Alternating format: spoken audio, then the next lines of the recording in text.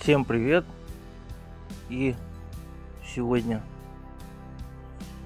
я передумал, сразу будет четвертая, пусть тоже будет версия. Мы доделываем наш интерпретатор.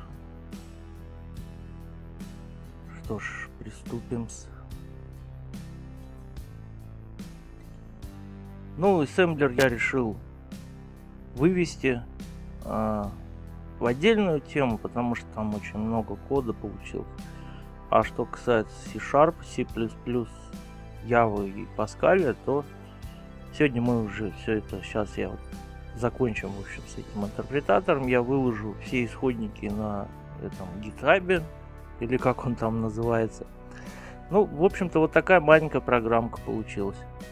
Весь интерпретатор. А, здесь комментарии ко всем процедурам, их немножко, тут штук 10, 20. А, значит, программа запускается вот следующим образом. Сейчас. Ну, сперва вкладываются скобки, потом блоки с кодами, фигурные скобки. Потом скобки, которые уже вложены, вкладываются внутрь функций. То есть, если, например, это функции, а в скобках какие-то параметры, то, ну, соответственно, все параметры вкладываются в, эту, в это слово, название функции. Потом вкладываются блоки, потом умножение, деление последовательно, потому что умножение, деление первее выполняется, чем сложение вычитание. Вот сложение вычитание вкладывается и в конце присваивания. Ну, здесь показано равенство. Ну и потом запускается программа. Вот всего-то вот такое маленькое количество функций. Теперь то же самое я хотел бы только графически показать, чтобы было понятно. Так, ну, я, как вам и говорил уже, сначала программа выглядит вот так.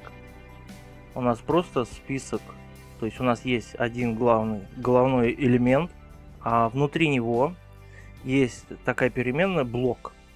И вот толстенькой черточкой показано, что ссылка с блока идет на первый элемент вложенных элементов, который в него вложен. А потом через переменную next присоединяются все последующие элементы. Ну и, соответственно, переменный предок это предыдущему элементу указывает, а переменная родитель указывает, какой родитель этого элемента как бы.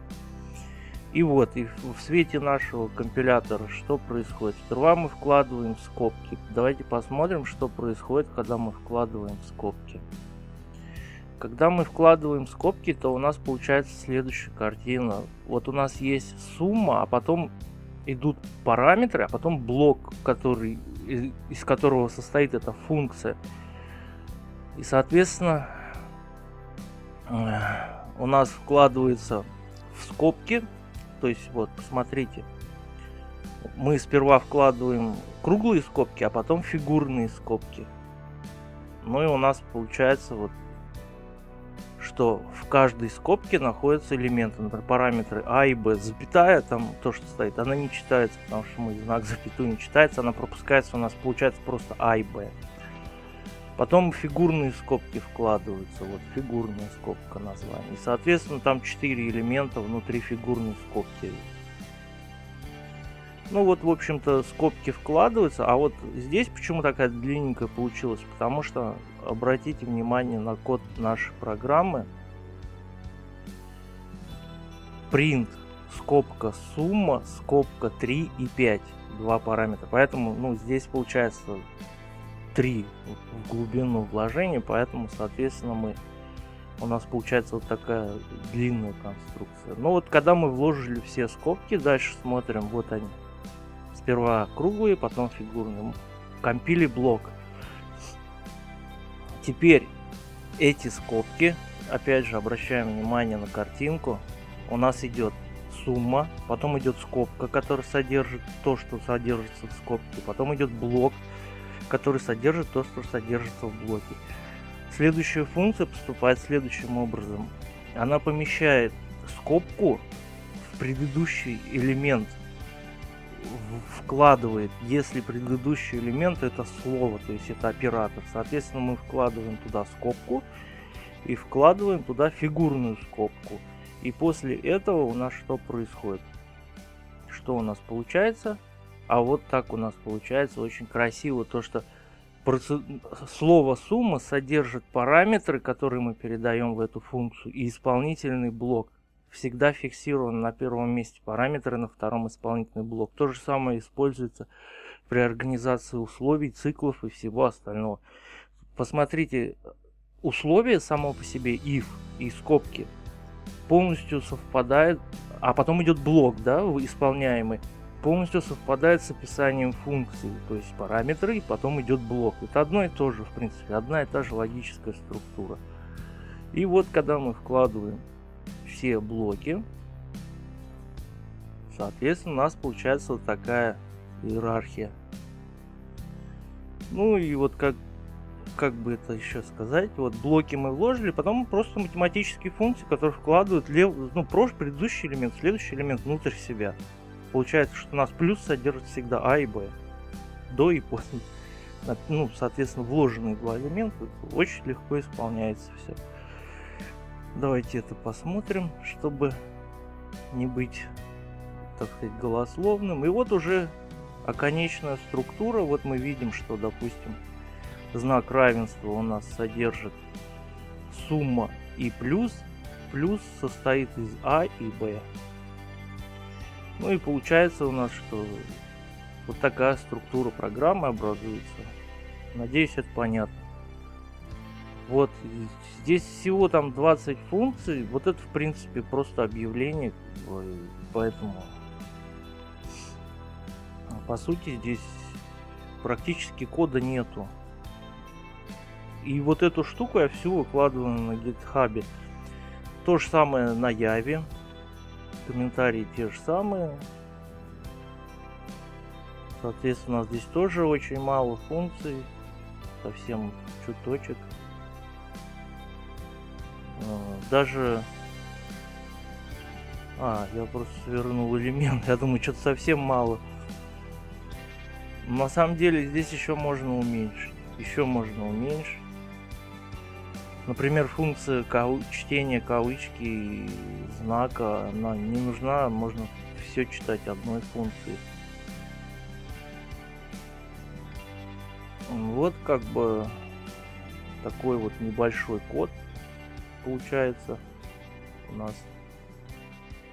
Что-то какую-то кнопку я нажал. А, ну ладно. Ну вот он, в общем, Запускаем нашу на вычисление. Вот здесь есть А и Б, умножить, деление, там передача параметров, функцию, все остальное. Вот минус 12 выдает. Соответственно, все работает. Закрываем. Лазерус тоже закрываем. Что у нас осталось? C++. Ну, C++ единственное, что здесь вот через какие-то вот такие вот сейчас покажу непонятные какие-то стрелочки вместо точки. Не знаю запарился с этим C++ искать как, каких комбинаций здесь что подходить будет. Но я сейчас на github все выложу и буду уже затачивать. Присоединяйтесь ссылка будет под видео. Пишите свои комментарии коду свои предложения. Я все это обязательно рассмотрю, учту. Будем работать, разрабатывать язык программирования. Очень маленькая программа, 200-300 строк, 10-20 функций. А, что еще интересная особенность хотел сказать, что когда запускаем ну, функцию какую-то на выполнение, то мы создаем экземпляр этой функции в моем языке программирования. Других я не знаю, как сделано. Через стек, по-моему, передается сюда. Но у меня нет и параметры, и все. Просто создается отдельная область для исполнения. А для чего это сделано, почему так нужно сделать? Потому что это позволяет мне запустить несколько нитей потоков, несколько потоков одновременно, я, это мне гарантирует, что все мои функции, процедуры будут работать правильно. ну, потокобезопасное программирование.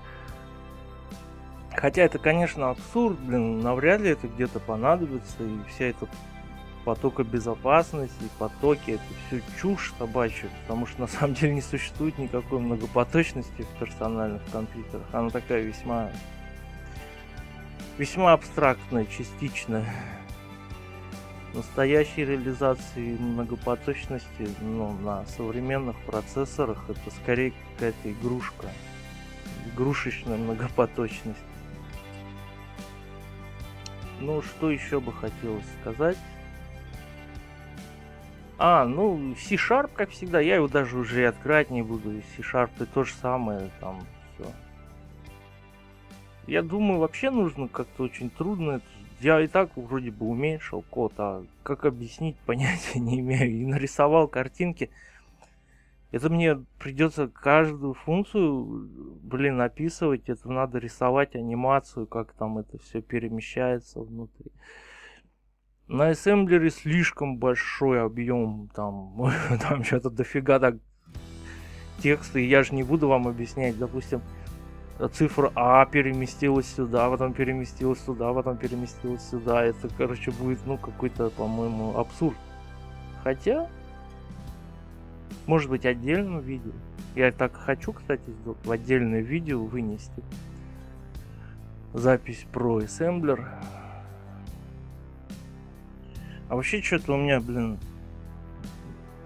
настроение не очень. Ну, неважно. Ну, в общем-то, я буду выкладывать. Это четвертое видео от R4. И плюс еще ко всему снизу будет ссылка. Причем GitHub, что интересно, то что там можно зарегиться и прям там же никакие не, не лазя репозитарии не создавая, прям там же можно работать уже с кодами, прям там же их писать прям в браузере. Это классно, потому что, блин, вот эти все действительно настройки и там все на английском языке, это просто ужасно. Я ничего там не понимаю. Я нашел три кнопки, как выложить и как обновлять один файл. И в ленте сразу он выходит, и все твои обновления выходят, и другие могут тоже редактировать. Вот это прикольно. Только этому научился, ну и ладно. Пофиг. Ладно, пока еще будет видео у меня есть еще скачивайте интерпретатор, изучайте. Кстати, еще еще хотел сказать, здесь можно в элемент добавить такую фиговину, типа код, надпись код, и туда вставлять под каждый элемент свой код на ассемблере и получится компилятор. Был интерпретатор, стал компилятор. Ладно, пока.